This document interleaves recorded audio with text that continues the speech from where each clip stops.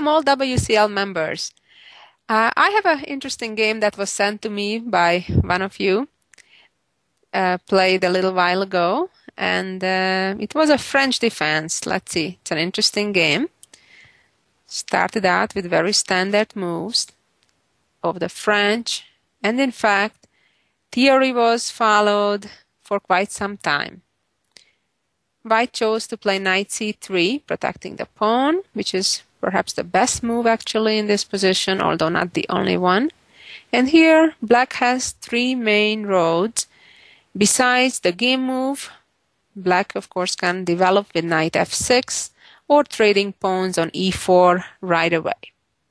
However, the most ambitious and aggressive move is to create a pin over white's knight on c3 by playing bishop b4.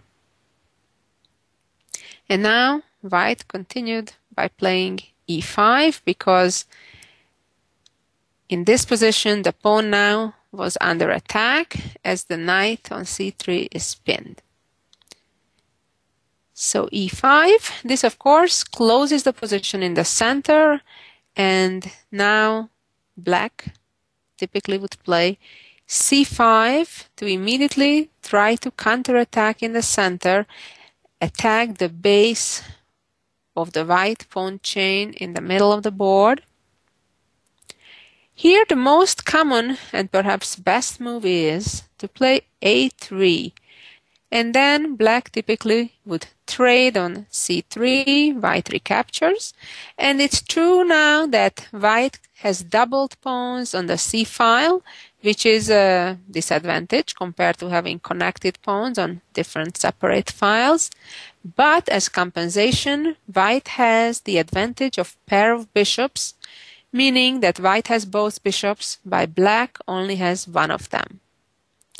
More concretely, black may suffer from not having the dark squared bishops in uh, having weak dark squares in certain situations or after the white queen appearing on g4 attacking the pawn on g7 often can create unpleasantness for black but of course this is just very generalizing and simplifying things in reality, this is a very well analyzed and often played opening line that well is well playable for both sides.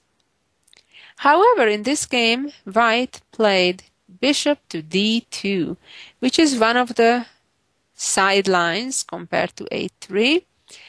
And its idea is clear to unpin the knight and to prepare a knight jump to b5 that's how white would continue. For example, if black would win the pawn, the white knight would appear on b5, and of course, on one hand, threatening to gain the pawn back, or for example, after the exchange of bishops on d2, black would have a rather unpleasant situation, being unable to stop the knight from getting to d6 to check, and that would strip black from the right to castle.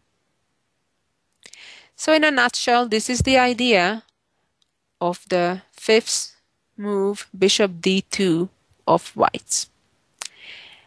In this game, black continued with knight e7 developing rather than hunting for the pawn on d4. The whole idea behind this move is to castle or to be ready to castle as soon as possible so after knight b5, which by the way happened in the game, exchange of the bishops, now black is ready to castle before the check would arrive on d6. So it's quite important for black to castle before the knight would get there. Of course, the knight now could still get there, but by no means it would have the same effect as when it arrives there with a check. In this position, there are two main moves that has been played by masters and even stronger players. One of them is to capture the pawn on c5. Of course, this would only be a temporary gain of pawns as black in such positions can play knight d7, for example, attacking both pawns, and it's only a matter of time when black would win the pawn back. On the other hand, in this game, white played f4 at the moment, which is also a commonly played move. And here, black could trade on d4 right away, but chose rather to play a6, attacking the knight. And of course, the knight wants to come into d6. Now, a knight on d6 does not necessarily have an immediate target or threat, but it's there to kind of paralyze the black pieces, take away important squares from the black army. Black proceeded, trading pawns on d4. And of course, white is in no rush to recapture because if the white queen would capture the pawn immediately, black could gain time by developing the knight to c6, for example. Instead, white chose the natural developing move knight f3 and is hoping to capture the pawn on d4 eventually with a knight. Now, black developed also with knight to c6. And white rather develops then gets the pawn back for now. And this is a very interesting moment of the game when action starts happening. Quite typically for this type of pawn structures and for this opening, the French defense, black usually plays c7, c5 with the pawn, which he already did, to undermine the base of white's pawn chain in the center. And in addition, very often black would play f6 to get rid of this pawn on e5 that greatly paralyzes the black position and of course gives a great support for the knight on d6. So now white has to be a little bit careful to move the pawn from e5 or even to capture the pawn on f6 because then the knight on d6 would not have support. In the game, white castled and black captured the pawn on e5 and so did white. Now this is a very interesting position where black chose the book move.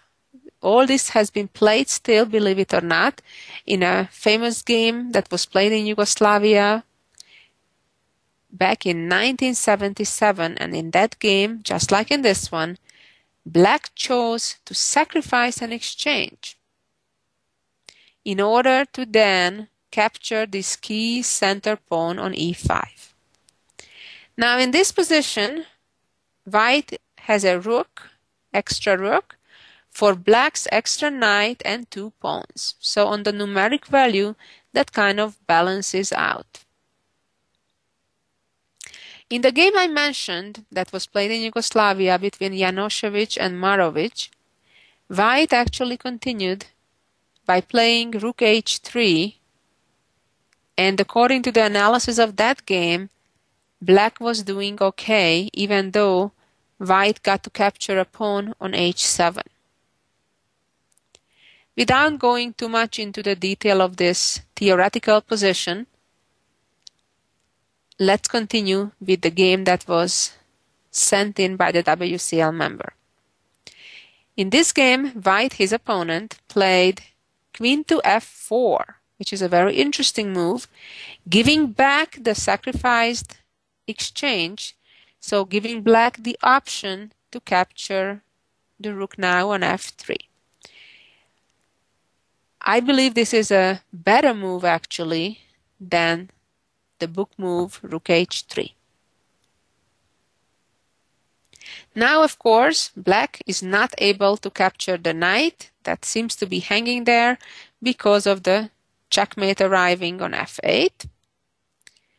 Let's go back two moves. And in this position, black captured the rook with a check. Now, of course, the white queen is not able to recapture because it's busy holding on to the knight on d6, but white recaptured with the pawn.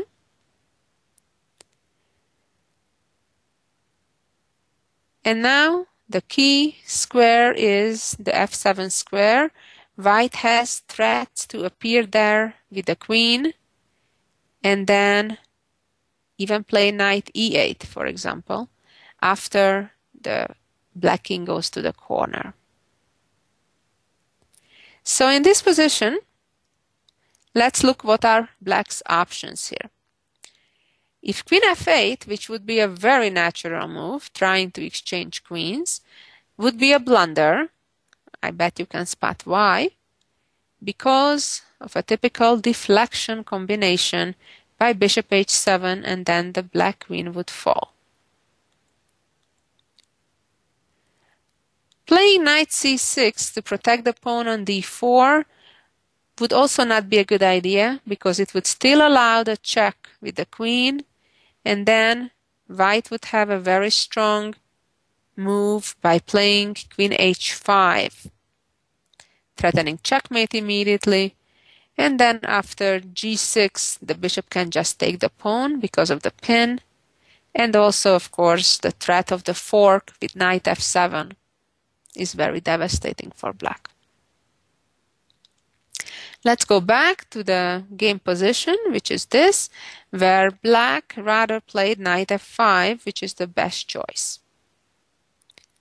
And now white captured, traded on f5, and captured back.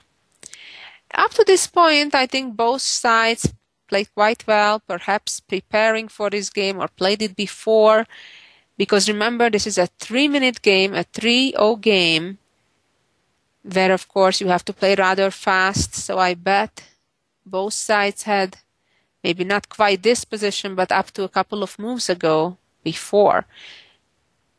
And this is the first moment when I think uh, mistakes start happening, which is expectable in such a short time control game.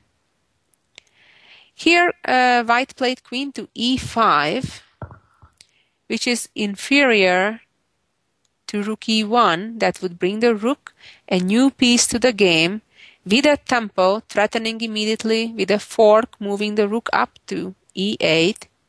And then after black would defend that with bishop d7, white could capture the pawn on d4, attacking the pawn on d5 and white has good compensation for the pawn, probably winning another pawn back shortly.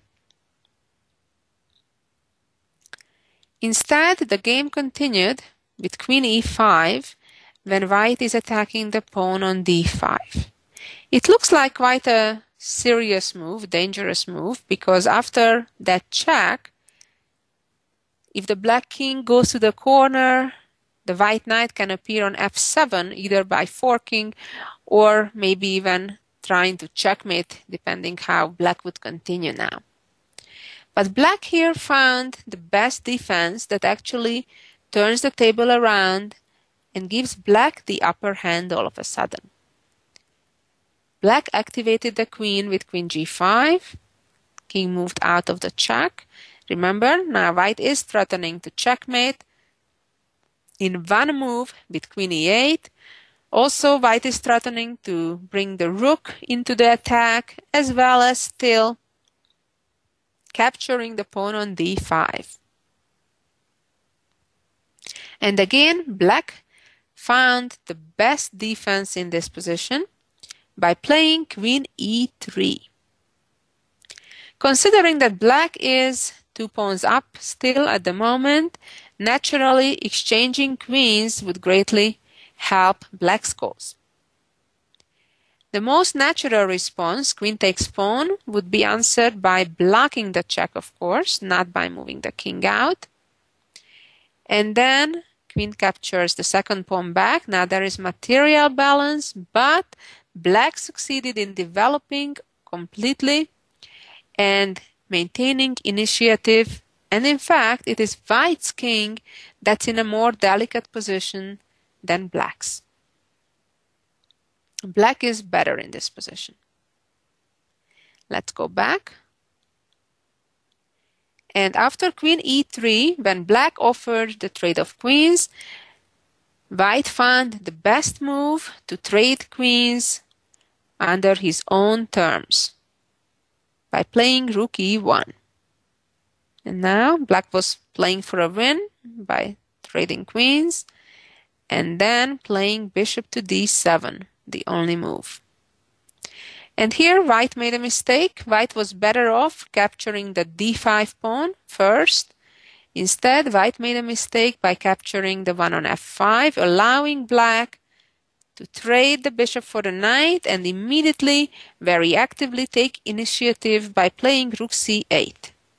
As you can see, the pawn on c2 now is under attack, and if it advances whether to one or two squares, it would be lost in either case. White took the pawn, so did black. And now white captured the pawn on d4.